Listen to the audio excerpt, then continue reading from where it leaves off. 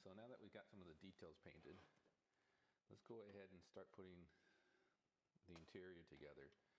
Um, I already put the headlights, they need to be glued onto the front, uh, onto the front panel here. Um, I used the original vintage headlights. I just wanted to keep this as vintage as possible. Yeah, I have newer ones, but you know, I kind of like the look of the vintage. They kind of yellow just a teeny tiny bit, you know, just gives it a nice vintage look. I already put the uh, the amber lights in there as well. They needed to be uh, held by these little plastic um, tabs here that needed to be glued on as well. So. So we're ready to put this together. I also screwed on this front brace. That's what's going to be screwed onto the front. So we'll get to that in a second here. So let's start with putting the windshield on first. This is about the only thing that is not original vintage on this truck is this windshield. But so these they slide into these little tabs here on the top. So we're gonna slide those in. I had to scrounge around for, and then this one here goes in place as well.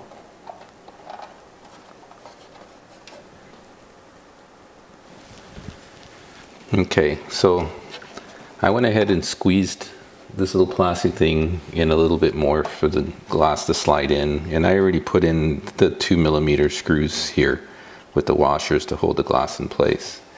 So the next thing we want to do is the front grill goes into place as such.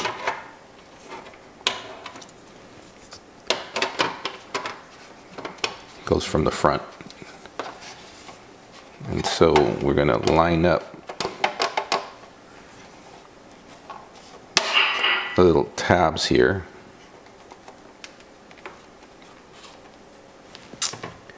And they're going to be held in by these three millimeter screws.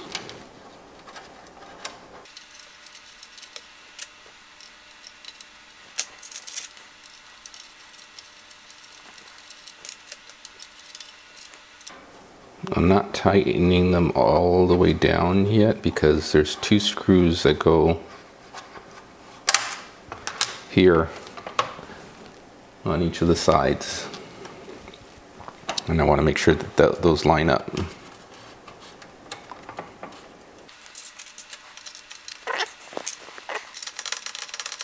That's that side. And there's the other side. Okay, so there's a nut that goes on the other side here. That'll hold these down.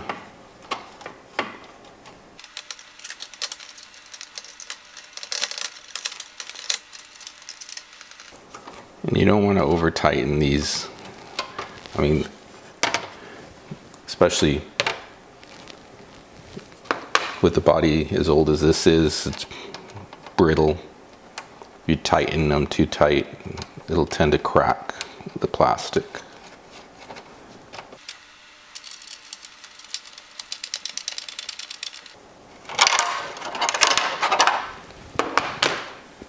Okay, take a look at the front. Everything lines up, so now we can tighten these two screws here.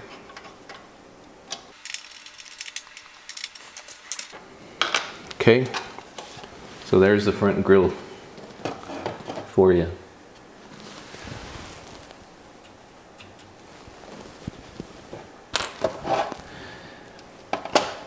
Let's see, we have painted the interior, painted the seats uh, brown, the floor black, steering wheel black with chrome silver, and then I painted the front um, the dashboard here the same color as the body. So let's get some screws and do this next. Before we get to that, uh, let's take care of the mirror. I'm using the vintage mirror here, not the newer one. Again, probably doesn't look as nice as the newer one, but I want to try to keep this as original as possible.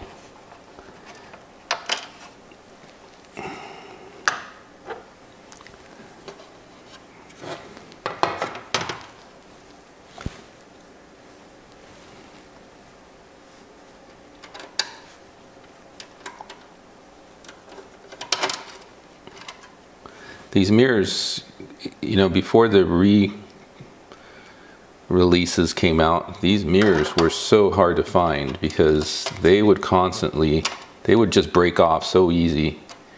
And uh, they were not that cheap. um, someone came along and started doing some aluminum ones, and that was pretty cool. But if you wanted a true vintage plastic one, an original one, boy, they used to be hard to find. Not so much anymore. They're re-releases, but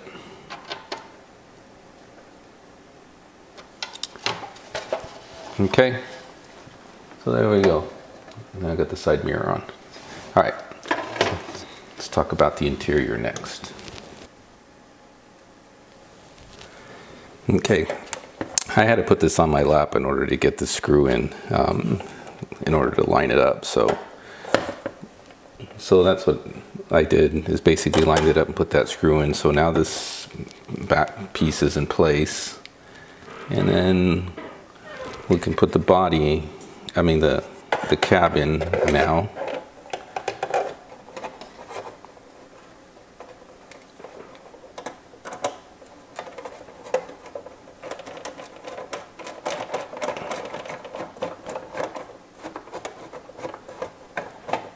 should all kind of line up at this point.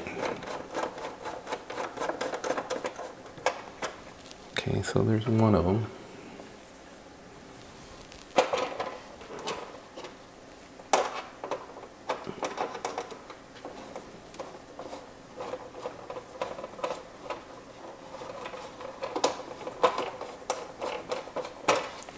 Let's get the other one in now.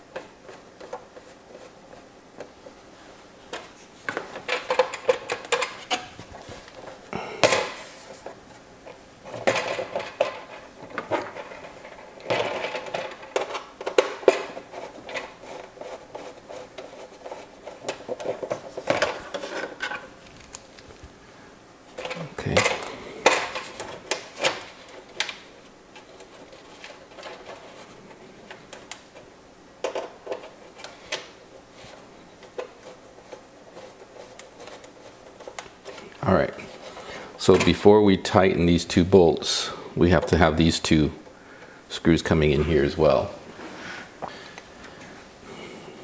These should be six, but I don't have six millimeter Allen heads, so I'm using eight. Not that it's gonna matter because you're not gonna see it, but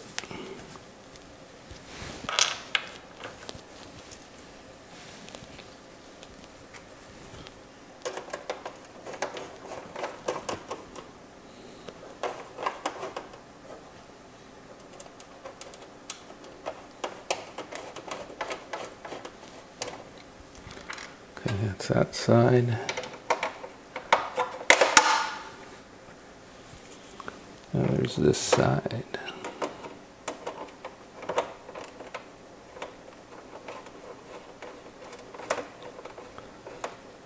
Okay, so now that we got all the nuts and bolts in place, let's go ahead and tighten those guys down before we forget, and then we'll tighten up all the all the nuts and bolts here.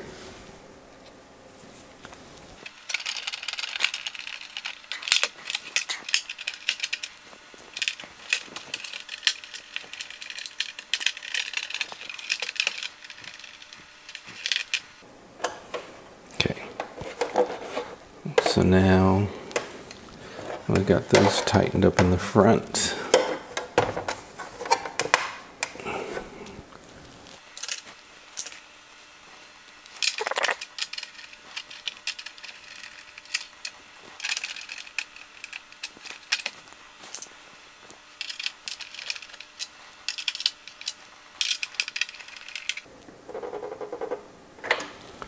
All right.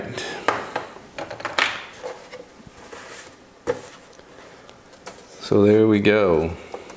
We got our body now nicely put together. A little bit of a struggle due to my mistake and getting the things in the right order, but okay. So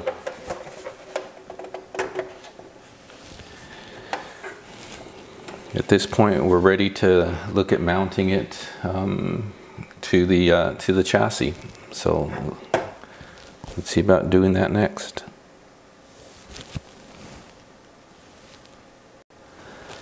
Okay so before we put the body on we need to do a little bit of maintenance here. So first of all this is the weird body posts. They have to go that has to go here back. And there's a little notch that this fits in. And they're self-tapping screws that go in to that. So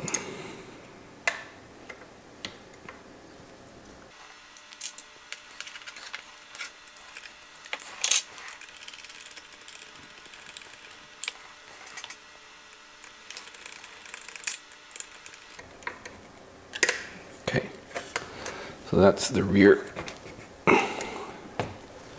that's the rear body posts here. Now, we need the front body post. And that's this guy, that's this guy here.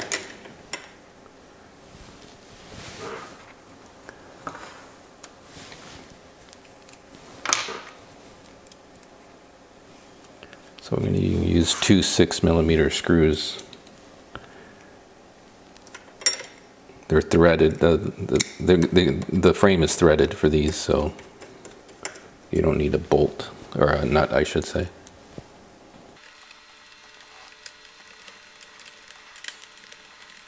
Okay, that takes care of that. And then, while we're at it here, should put the front bumper in place. So what happened is that those bolts weren't long enough. So when we unscrewed them,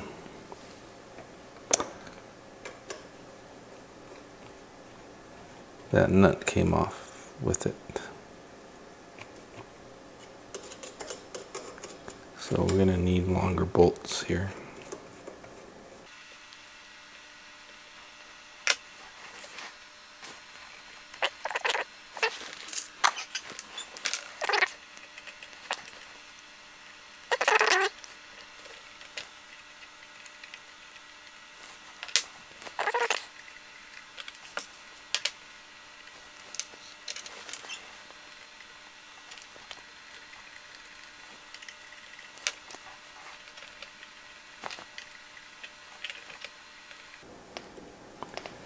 Okay, I'm gonna have to tip this over. and I'm gonna put this on my lap and get these nuts back on there.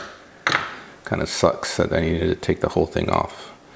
Um, so let me do that and we'll come back. Okay, while this was on my lap, it was just easier to tighten up the screws for the bumper. So there's, on the front bumper, there's, on the sides, on each side here, you have to loosen up this screw right there. You got to loosen up that screw in order to slide on each side in order to slide the bumper um, in place there. Then there's a screw, there's two screws in front here that tighten the bumper um, mounts to the chassis and there's two screws on the bottom 10 millimeter screws on the bottom. These are six millimeters in length. These are uh, going to be around 10. So those are the last two screws that we need to put in and tighten up.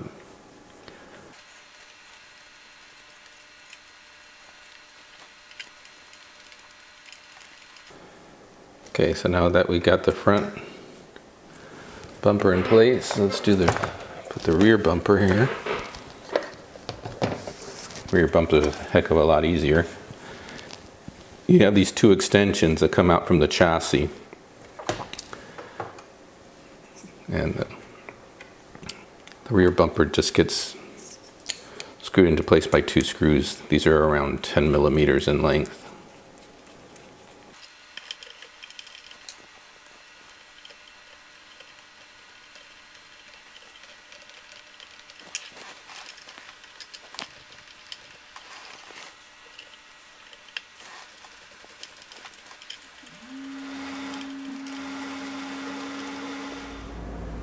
Okay, so now we got the rear bumper in. Now we're ready to mount the body.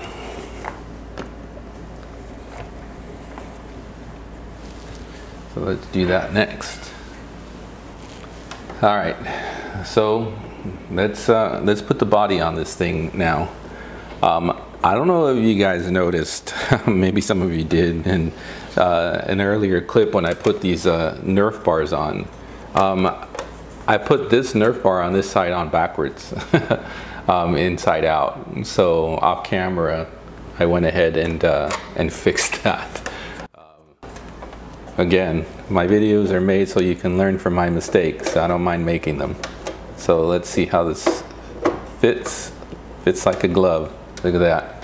Perfect um, two body posts. So there's a clip that goes in the front, there's a clip that goes on the back, two of them that go on the back to hold the body in place.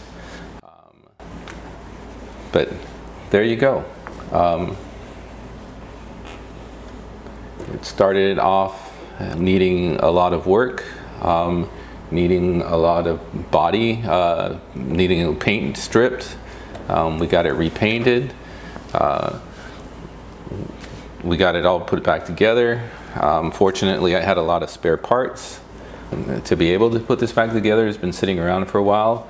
So the only thing that I have left to do is basically just kind of uh, glue on the little license plates, um, you know, on the front and back. Um, and the last detail is the tailgate. So the tailgate, um, I didn't want to paint this white um, because I didn't want it to come out all looking hokey um, with the paint.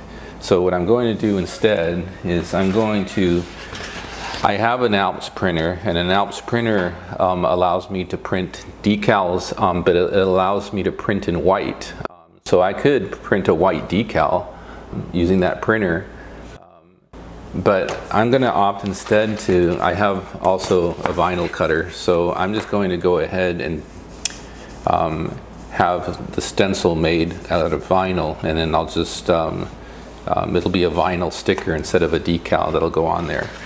Um, I'll probably make a separate video out of that, um, primarily because, first of all, I have to find the right font, and then chances are, I'm sure, that it's not going to be perfect, so I'm going to have to um, edit and manipulate the font in order to get it um, to look exactly like these letters here.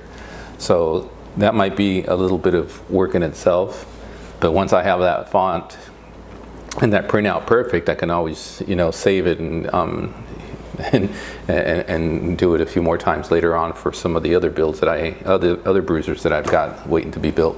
Anyways, the bottom line is that's, that's what's left to do is just that, but I'll just make that in a different video. As far as I'm concerned, this is gonna wrap up this series that I have here um, with the final product uh, being as you see it there. So I hope uh, I hope you learned from my mistakes. Um, like I said, that's the whole point of a lot of my videos. I make mistakes along the way, and hopefully it helps you in your builds. And hey, just remember, you know, have fun in life. Uh, you only live once. Enjoy it.